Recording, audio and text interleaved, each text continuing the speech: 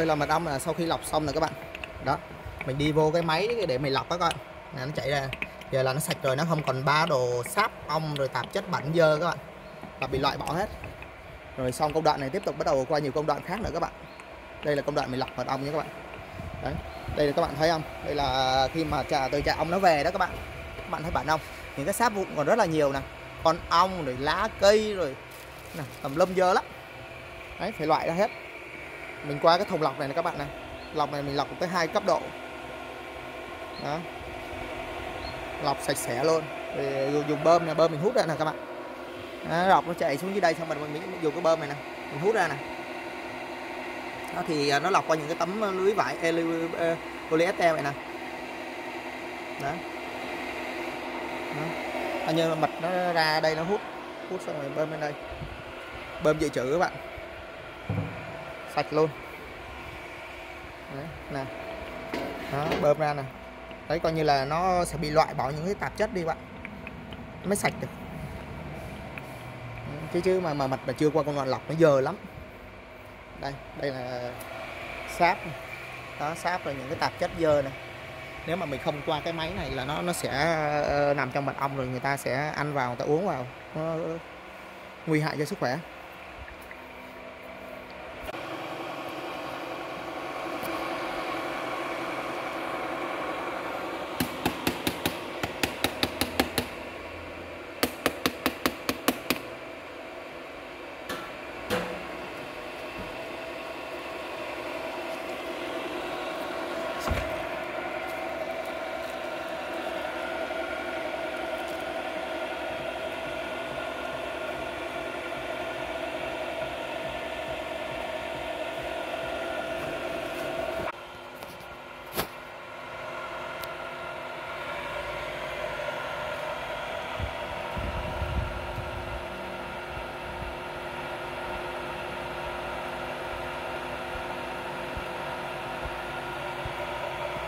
Phát nhiều quá.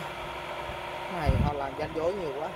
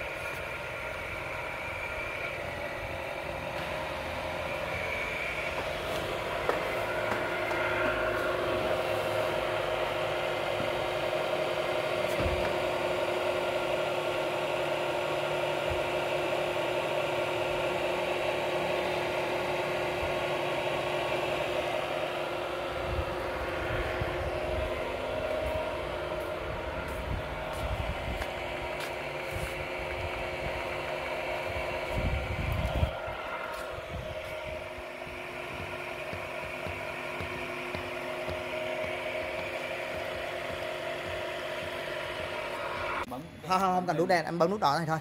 Rồi, nhấn một nút thôi. tự động ngắt rồi tự động ngắt. Nhấn đi. Thả đây. Tự động nó nó đầy là nó phải ngưng ra. Đó rồi em lấy em lấy cái chai kia thay thế.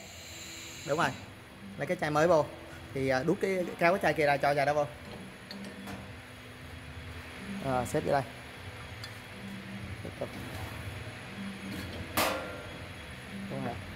Rồi, mình nhấn. Đó, giờ nó tự động rồi nên ờ, khỏe. Không không có cần phải ờ, giống như hồi nãy anh ờ, đó, lấy cái mới, chai mới cho vô.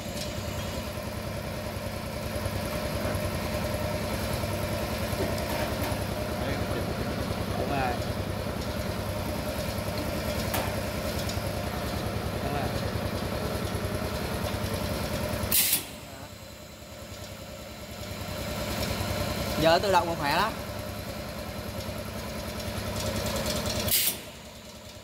Đó, chứ hồi nãy ngồi canh mệt lắm. Sợ thấy mồi nhiều khi mình ờ, lố tay á.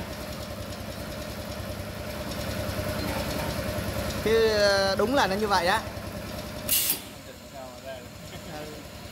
Tại anh chế máy mà. Nguyễn Giàn anh chế đó